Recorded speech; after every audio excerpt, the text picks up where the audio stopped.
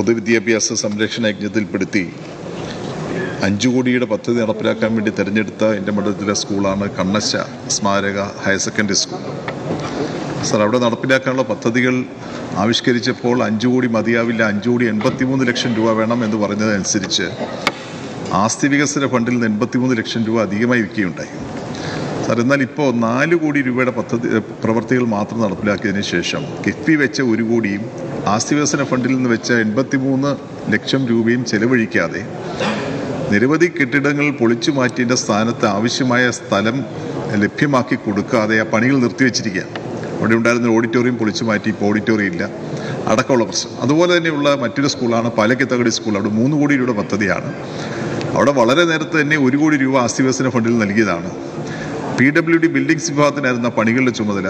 P P W buildings വിഭാഗം ഒരു കോടി രൂപ ഇനി ചെലവഴിക്കാൻ കഴിയില്ല എന്ന് നാല് വർഷങ്ങൾക്ക് ശേഷം എന്നെ അറിയിച്ചിരിക്കുകയാണ് സാറേ ആസ്തി വികസന ഫണ്ടിൽ നൽകുന്ന തുക ഇങ്ങനെ നഷ്ടപ്പെടുത്തി കളയുന്ന ഒരു സമീപനം ഏത് വകുപ്പിന്റെതാണെങ്കിലും അത് നമുക്ക് സഹായിക്കാൻ നമുക്കത് ഒരു തരത്തിലും അതിനെ പിന്തുണയ്ക്കാൻ കഴിയില്ല. അതിനെ നമുക്ക് നമുക്ക് ടോളറേറ്റ് ചെയ്യാൻ കഴിയില്ല സർ.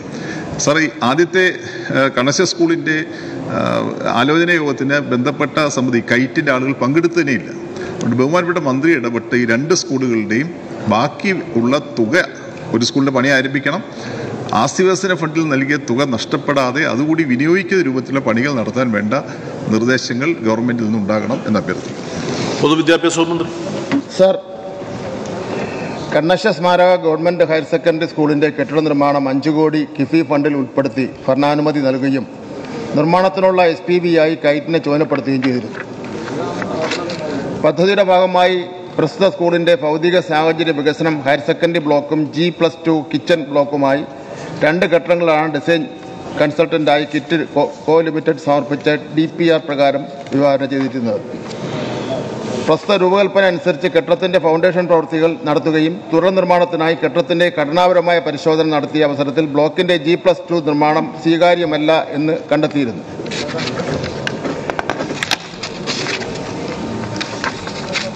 പ്രസ്തുത സ്കൂളിന്റെ കെട്ടിട നിർമ്മാണവുമായി ബന്ധപ്പെട്ട് എം എൽ എ ഫണ്ടിൽ നിന്നും അനുവദിച്ചിട്ടുള്ള എൺപത്തിമൂന്ന് ലക്ഷം രൂപ പ്രസ്തുത നിർമ്മാണത്തിന് ഇനിയും ആവശ്യമില്ലാത്തതിനാൽ അത് മറ്റ് പ്രവർത്തനങ്ങൾക്ക് ഉപയോഗിക്കാവുന്നതാണെന്ന് കൈറ്റ് അറിയിച്ചിട്ടുണ്ട്.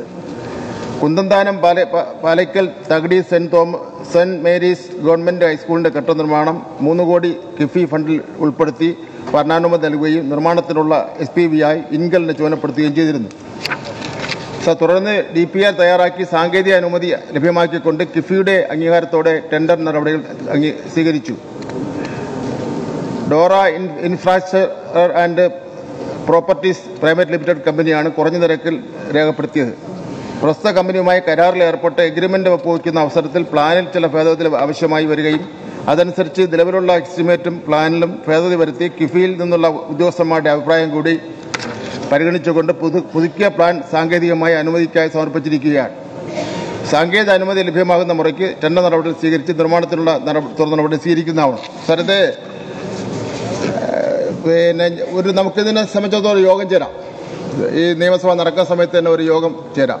ഇപ്പം ഗവൺമെന്റ് ഫണ്ട് കൊടുത്താലും ഗവൺമെന്റ് കിഫി ഫണ്ടെന്നോ കിഫിയിൽ നിന്നുള്ളൊരു ഫണ്ടോ അത്തരം ഫണ്ടുകൾ കൊടുത്തു കഴിഞ്ഞാൽ എസ് പി വി എന്ന് പറഞ്ഞ് നമ്മൾ കൊടുക്കുന്ന കൂട്ടരെ അവരെ അവരെ ശിശിയാക്കി എടുക്കലാണ് ഇപ്പോൾ പ്രധാനപ്പെട്ട ജോലിയായി മാറിയിരിക്കുന്നത്. യഥാ- യഥാർത്ഥത്തിൽ എം എൽ എമാരെല്ലാം ഈ എസ് പി വിക്കാരെ കൊണ്ട് പൊറുതിമുട്ടിയിരിക്കുകയാണ്.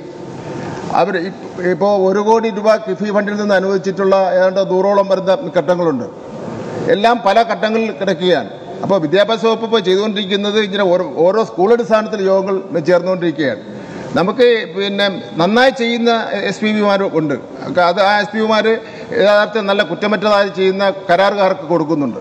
ചില കരാറുകാർ കരാറുകാരന് എടുത്ത് പിന്നെ വർക്ക് എടുക്കുകയും എടുക്കാതിരിക്കുകയും ചെയ്യുന്ന അവസരത്തിൽ എസ് പി വിക്കും ഉത്തരവാദിത്തമില്ല. കരാറുകാർക്ക് ഉത്തര ഉത്തരവാദിത്തമില്ല. സ്കൂളിന് ഉത്തരവാദിത്തമില്ലാത്ത ഒരു സാഹചര്യത്തിൽ വന്നിരിക്കുന്നു ഉത്തരവാദിത്തം മുഴുവൻ എം എൽ എ തലയിൽ വന്ന് വിടുന്ന സാഹചര്യമാണുള്ളത്. ഈ സാഹചര്യം പരിഗണിച്ചുകൊണ്ട് ബഹുമാനപ്പെട്ട ധനകാര്യ വകുപ്പ് മന്ത്രിയുടെ ശ്രദ്ധയിൽ ഈ കാര്യം ഞാൻ പെടു- പെടുത്തിയിട്ടുണ്ട്. അത് അതൊരു പ്രത്യേക യോഗം. കിഫിയുമായി ബന്ധപ്പെട്ടുള്ള പ്രശ്നങ്ങൾക്ക് പരിഹാരം കാണുന്നതിന് വേണ്ടി ഒരു പ്രത്യേക യോഗം ചേരാൻ പറഞ്ഞിട്ടുണ്ട്. ബഹുമാനപ്പെട്ട അംഗം ഇവിടെ ഉന്നയിച്ച മാത്യുറ്റിത്ത് തോമസ് മുൻ മന്ത്രി ഉന്നയിച്ച പ്രശ്നം ഒരു പ്രത്യേക വിഷയമായി എടുത്തുകൊണ്ട് ഒരു യോഗം ഇവിടെ ചേർന്നതിന് നമുക്കൊരു യോഗം ചേരാം. ചേർന്ന് നമുക്ക് ഈ പ്രശ്നത്തിന് പരിഹാരം കാണാം.